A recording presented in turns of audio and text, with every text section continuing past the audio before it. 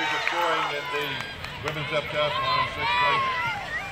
Renia Thomas of VMI, 3,913 points. Fifth place, Sarah Hayes of Dawson, 4,021. Fourth place, Aaron Knight of Samford, 4595. Third place, Teresa Thomas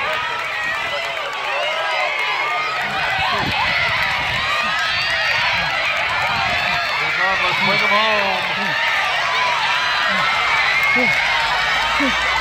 home.